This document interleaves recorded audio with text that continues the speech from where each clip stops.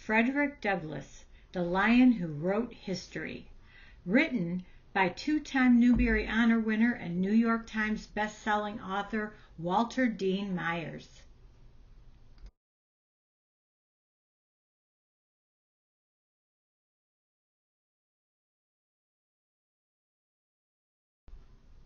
This is the story of how one man's careful decisions and many accomplishments not only made his own life better, but in many ways changed the history of America. Frederick Augustus Washington Bailey was born a slave in Talbot County, Maryland in 1818. His grandmother, Betsy Bailey, was also a slave, and she took care of young Frederick. When he was about nine, he was sent to live with slave owner Hugh Auld and his family. He was given chores to do around the house and helped care for the family's children. Soon after he arrived, Frederick saw Sophia Auld, the mistress of the house, teaching her children to read. He wanted to learn too. Seeing how eager he was, Mrs. Auld started giving him lessons along with her own children. But when Hugh Auld found out that his wife was teaching Frederick to read, he objected. Teaching a slave to read will make him unfit to be a slave, Mr. Auld said. Sophia was not happy, but she understood what her husband meant. The ability to read would expose slaves to ideas and information that would make them unhappy being owned by someone else. Frederick also understood what Mr. Auld was saying. He thought hard about how the slave owner linked reading with slavery.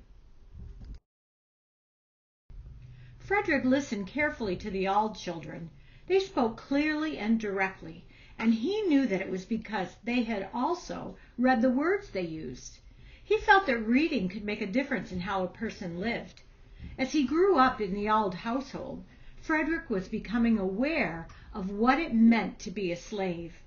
Slaves were forced to work for their owners. As punishment, they could be beaten, and they could be sold away from their families. Frederick watched as the Auld children received an education. He listened as they excitedly shared their ideas and dreams with friends. Theirs sounded like a good life, and he wanted the same chance to build a good life for himself. If learning to read would make him unfit to be a slave, then that's just what Frederick would do. He made the courageous decision to learn to read. It would be very difficult because slaves were not allowed to go to school or have books to practice reading. When he could, he borrowed books from the young white friends he sometimes played with. He picked up old newspapers and flyers he found in the streets. Anything that contained precious words was important to Frederick. By the time he was 16, Frederick was tall, well built, and very unhappy with his life. He was also a reader and a young man who used words well. Sometimes he used them unwisely. After he argued with his master, he was sent to Edward Covey, a man known for making slaves less likely to stand up for themselves. He would bully the black men and women and beat them until they gave up the struggle to be more than slaves. Frederick was beaten viciously every week when he was with Covey. But one day the slave breaker tried to beat him again, and he decided to fight back, even if it meant his death. The two men struggled furiously for more than half an hour. In the end, it was Covey who gave up against the now strong Frederick. Covey never tried to beat Frederick again. Frederick was hired out to the shipyards. He became a caulker, a hard job that took strong hands and careful attention as he put tar and heavy cord between the boards of ships to make them waterproof. Most of the money he earned went to his master, but for the first time Frederick was meeting free black men. Many of them sailed the very ships that he was repairing. Free black sailors had always been a problem for slaveholders. They had papers proving they were free and were able to walk around most parts as they chose. The tales of their adventures spread among the enslaved blacks. Frederick listened to them carefully and imagined himself being as free as they were. When he was 19, Frederick fell in love with a free black woman, Anna Murray. But he was a slave and could not be with her as he chose. The lure of freedom became almost unbearable, but to try to escape was a risky business. Slaveholders did not want to lose their precious property. When slaves who tried to escape were caught, they were often punished severely. Frederick knew he had to take the chance. In September 1838, Frederick made his move. Using the seaman's papers of a free black sailor and dressing like the sailors he saw on his job, he boarded a train headed north. I suppose you have your freedom papers? the conductor asked him. No, sir. I never carry my free papers to sea with me, Frederick said. Here are my seaman's papers. The conductor looked at the papers. You don't sound as if you're around from around here, he said. I haven't been around here much, Frederick said, holding his breath. The conductor gave Frederick a hard look and then accepted his fare. I don't think you'd like it very much in these parts, he said. After the train ride, Frederick took a ferry across the river into Pennsylvania. He then took another train to New York City. Frederick arrived at the home of an abolitionist whose name he had been given. Sir, I can use some help.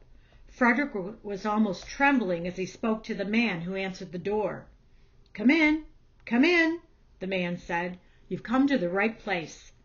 Frederick entered the house and breathed a sigh of relief. He had escaped. Anna Murray soon joined him in New York where they were married. After a short while, they made their way to New Bedford, Massachusetts. In 1838, New Bedford was a city with a small but strong black population. It was na- nicknamed the Whaling City because there were always whale boats in its harbor, and Frederick was sure that he could find a job.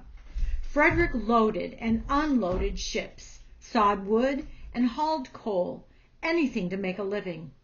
Afraid that slave catchers might be looking for him, Frederick Augustus Washington Bailey decided to rename himself.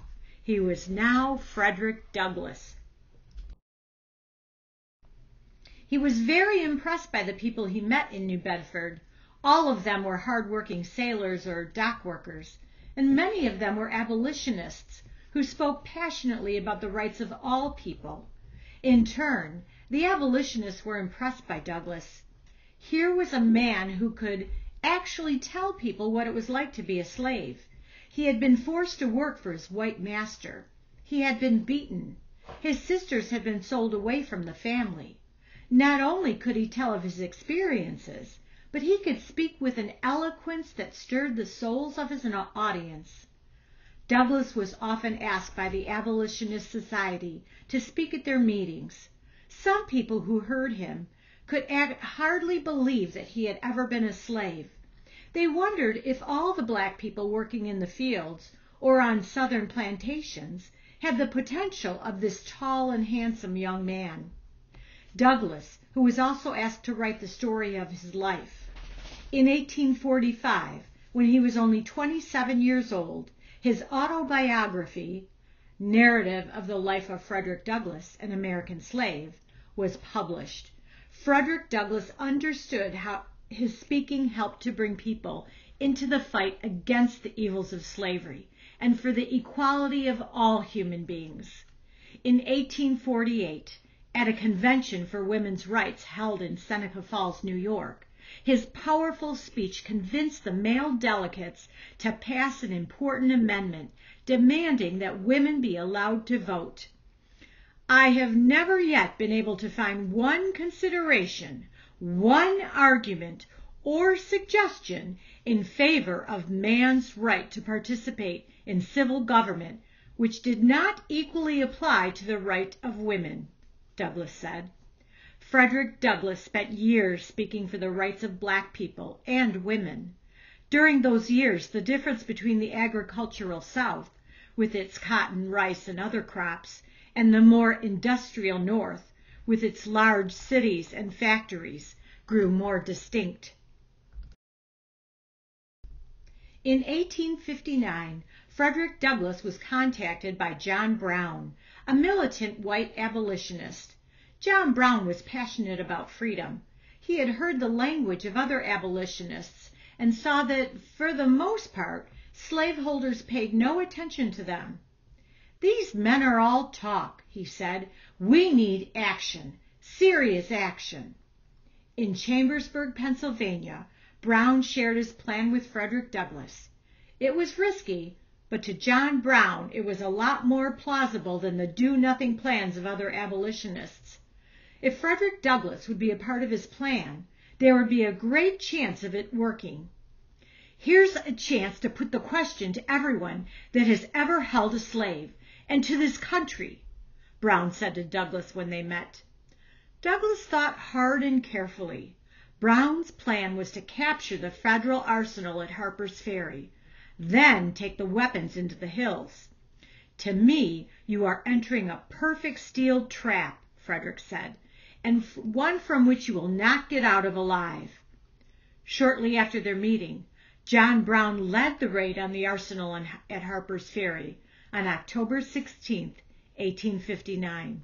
The raiders succeeded in capturing part of the grounds at Harper's Ferry and taking a number of hostages, but in the end the raid failed, as Douglass thought it would. The conflict between the northern and southern states came to a head in December 1860 when the southern states began to secede from the Union. They decided to form their own country, the Confederate States of America. President Abraham Lincoln ordered American forces, called the Union Army, to put down what he considered simple rebellion and treason. The battles between the North and South went on for three long and bloody years, without either side gaining a decisive advantage. The Union Army was made up of white soldiers, and some black used as laborers. Douglass urged the Union to enlist black soldiers. In 1863, shortly after the Battle of Gettysburg, he met with President Lincoln and urged the President to enlist black soldiers as equals in the Union Army. I saw in this war the end of slavery, Douglass declared. I urged every man of color who could to enlist, to get an eagle on his button, a musket on his shoulder, and a star-spangled banner over his head. The iron gate of our prison stands half open. One gallant rush from the north will fling it wide open, while four million of our brothers and sisters shall march out into liberty. 180,000 black soldiers, many of whom had been born in slavery, joined the Union Army. They helped to defeat the Confederacy in 1865. In 1865, the 13th Amendment to the United States Constitution was enacted to legally end slavery in the United States. The careful and wise decisions made by Frederick Douglass to learn to read, to escape from slavery, to speak out for justice for all Americans, and to aid the Union Army had helped to write American history.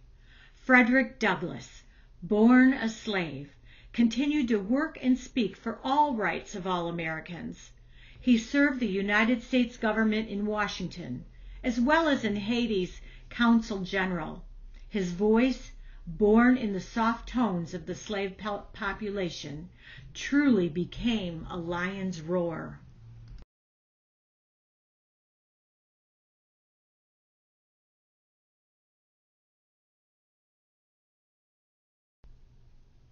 The End